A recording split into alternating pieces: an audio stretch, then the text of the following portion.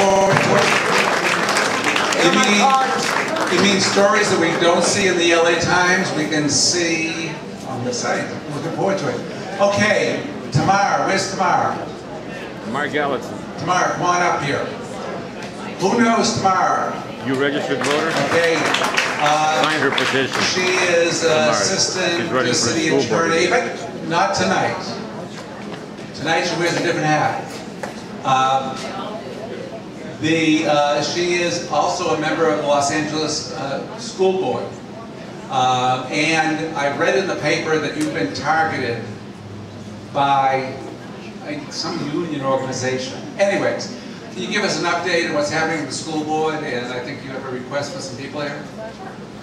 Not about money, I hope. No. Hi, everybody. I'm Tamar Galatzan. Um, I am a member of the Los Angeles School Board. It is, uh, it's been almost four years, so there is going to be another election in March. Uh, and I am up for re-election, so uh, I hope to get your support. The last three and a half years has been very uh, challenging at LAUSD. Obviously, we've had the budget crisis that has impacted the city and the state and the county and the feds.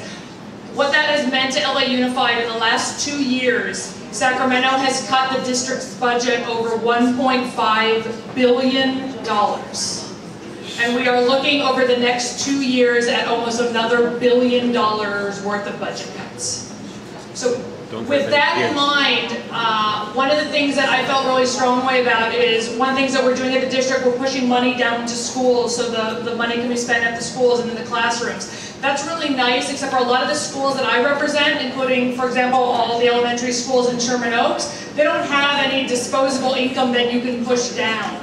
Uh, there's not a lot of money at those schools, and if it wasn't for the parent fundraisers, the schools, some of them wouldn't have toilet paper. Uh, so this year, for the first time ever, uh, all of the schools um, in the district that are considered non-Title I, including all of the elementary schools here in Sherman Oaks, got an extra $85,000, even in this budget situation, in order to spend it on things that they need, which is usually personnel at their school. Um, and that has been something that has been really important to me. The reason I ran, and a lot of you have seen my kids who are walking around today, they're both LAUSD students. I'm the only person on the school board who actually has kids in the school district right now.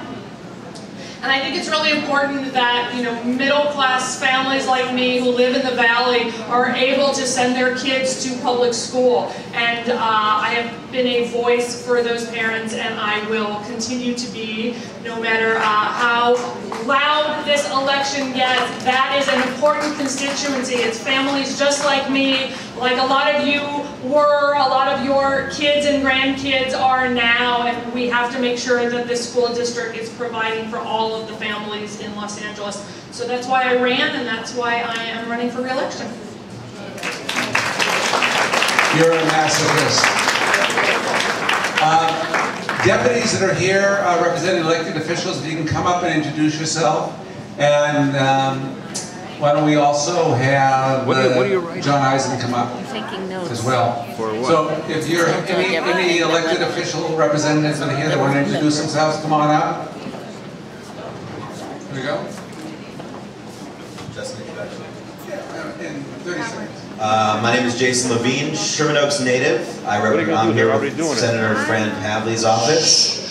Um, I'd like to thank SOHA for having, for, for doing this every month. It's an invaluable service to the community, uh, feeding Italian food to, No, no, no, that's not what we do. Feeding is just incidental.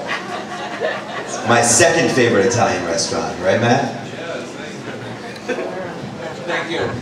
Um, Okay, who's going to speak? We'll uh, start with an update from uh, Paul Koretz's office. Councilman Koretz, who wants to give that? We're coming together. You share the same time. We did, we both share the same time. Hi, everybody. Uh, Joan Pelico with Hello, Paul. Councilmember Paul Koretz. Uh, As you know or you don't know, I actually became district director for the council district, so I do cover both areas now, west side and the valley, and I oversee both offices. So, thank you. Thank you, Matt.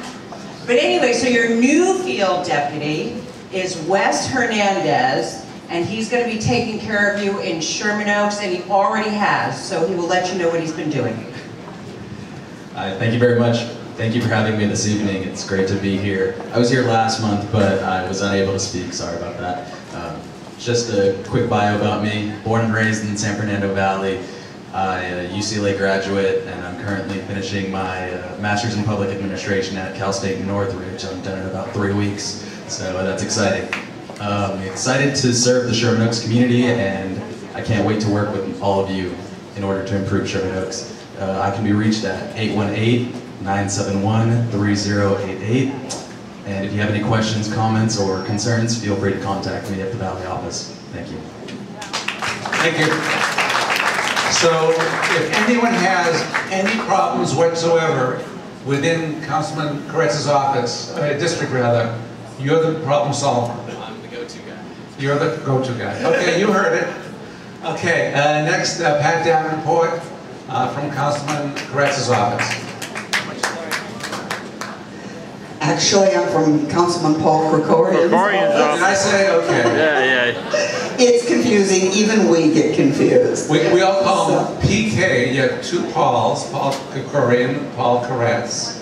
Both last names start with K, so we call him PK1, which is, uh, oh, some people call it Council District 2 and Council District 5. Okay, so you're. you I'm here on behalf of PK2 for Council District 2, and um, uh, have two things that I have brought and have flyers over on the table for, and I'm hoping you'll pick them up.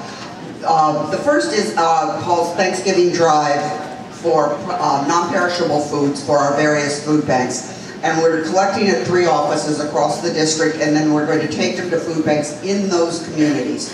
So the food that we collect at the North Hollywood office will go to the church on the corner of Colfax and um, Moore Moorpark, First Christian, because they operate out of there, the food bank that serves across the south part of the valley. So that's what we're going to be doing, and we do hope to get, uh, we're already got a great collection started, but we would love to have more help on that.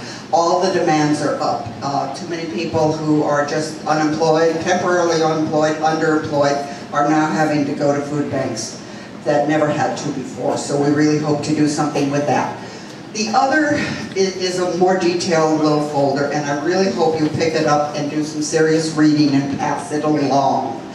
It is about the issue of painting crosswalks versus corners where there's no painted crosswalk.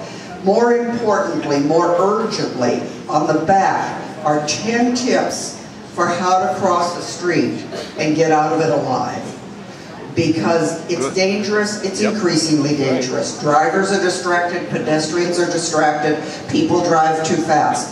So hopefully, we get this word out and we can save a child's life by teaching them how to cross safely. Those are two things, I want to just put one more word in because we did have the folks here from uh, Bevis and Albers Street about the cell tower. Uh, Paul's office has been hearing them and getting a lot of information. It has been a crash course for, I think, everyone in the office on uh, what is really, a- it's such a fast-changing area. It is very difficult right now for the city to do anything. What we have found other council members have attempted has pretty consistently failed, and the, they have gone, the uh, installations have gone in. So what we are trying to find is a strategy that will actually work. We are trying to find a way, we have gone to the federal government twice in the past. The city has had their uh, legislative agenda include trying to get these rules changed. Both times we were turned down by the federal government. This is a challenging issue and it will not resolve itself probably instantly or quickly, but it, we are looking very hard for a way to be effective in Thank this you. issue. Thank you. Okay, uh, go- go trip. John Eisen? According to the bylaws of the association, each year we have a procedure for election of board of director members. And so if anyone's interested in this high-paying position, uh, please see me, and I'll tell you the details of the procedure. Thank you. Thank you. Uh, Is Stephanie Johnson here? Stephanie Johnson? Okay, um, let's, Uh, just want to make sure everyone knows from the newsletter, there is no December meeting or newsletter because of the holidays. Uh, But the next event is going to be the December 5th toy drive. Hopefully, hopefully everyone has picked up the flyer with the red uh, border around it with all the details. Uh, We need to collect a lot of toys. There's a function that is held by the county and we supply all the toys. Once they run out of toys for that event, that's the end of it for that event. So we need your participation, December 5th, Ralph's Market in the front, and uh, um, Pat Davenport says that we're gonna have, what, fire engines and police cars and all that stuff. And just remind the, remind the officers that uh, the Assistant Chief, Michael Moore, will be there.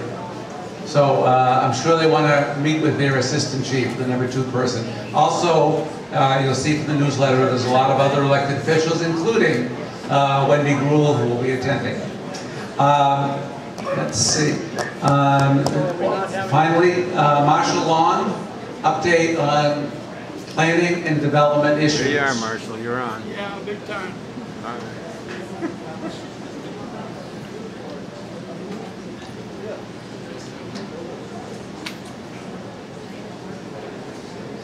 Don't, don't miss Santa Claus at the, um, the tro- toy drive.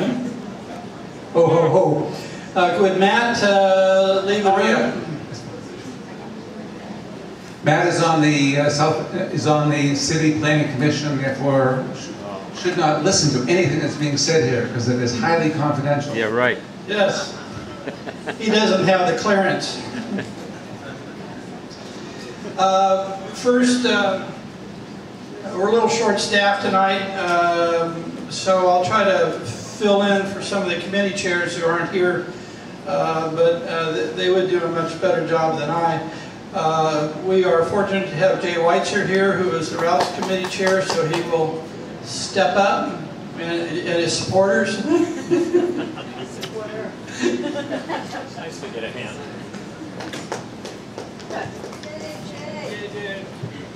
As you may know, that, uh, we lost the, our objections to the Ralph's project at the Planning Commission hearing, and we did file an appeal on behalf of the residents of the community to go before the Planning and Use Management Committee.